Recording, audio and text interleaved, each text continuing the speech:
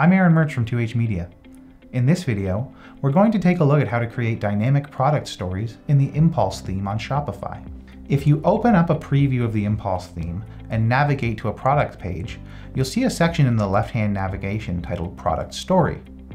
Within this section, you can add any number of custom blocks to make the product page a lot more engaging.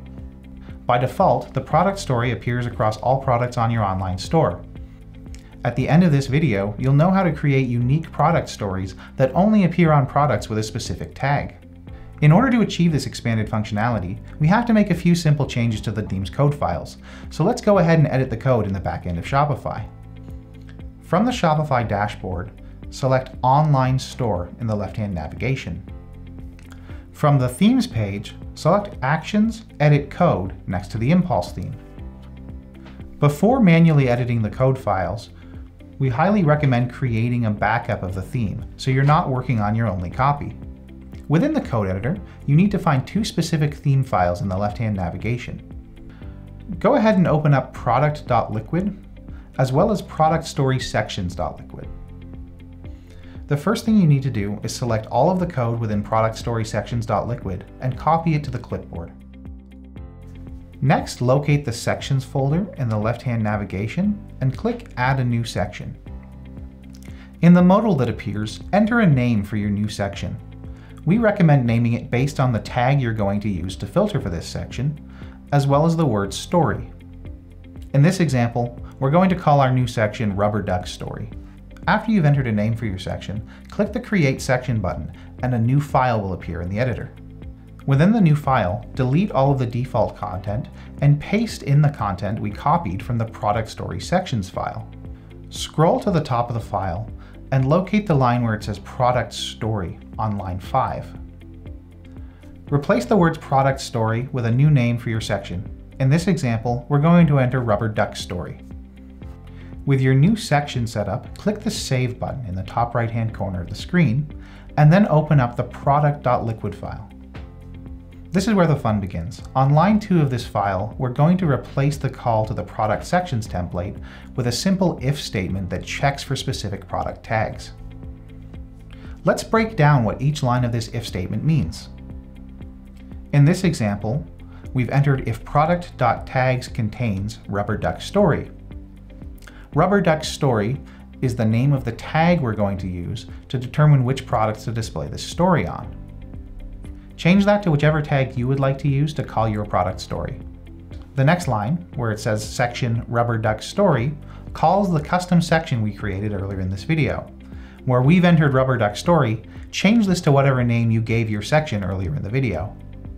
The last new line we're adding says end if, and simply tell Shopify to continue executing the rest of the code in this file. If you're not sure about retyping this code yourself, check the video description for a block of code you can go ahead and copy paste into the file. All you'll need to do is change the references to Rubber Duck Story to match whatever you've called your custom template. In order to create unique sections for any number of product tags, simply repeat the process we've just gone through, creating new sections for each tag, and then pasting that if statement into this file. We've gone ahead and created a version of the product.liquid file that includes several different templates all in a row.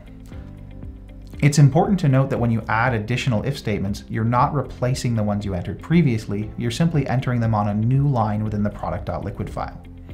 Once you're satisfied with your changes, click the Save button in the top right hand corner of the screen.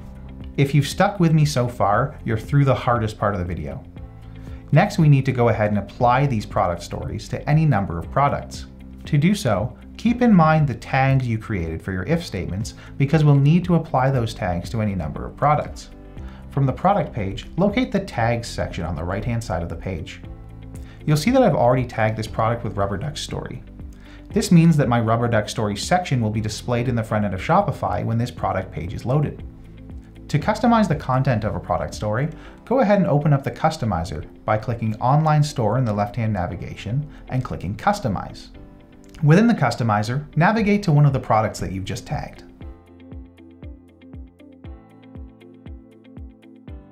In the left-hand navigation, where it used to say Product Story, you should see your custom product story displayed. In this example, my product story is labeled Rubber Duck Story. If I navigate to any of the other product pages for which I've created a custom tag, I should see a different product story in the left-hand navigation.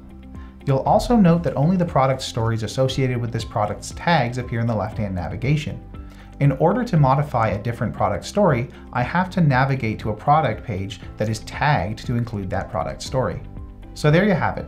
If you followed along with this entire video, you should now know how to modify the Impulse theme to include dynamic product stories based on product tags.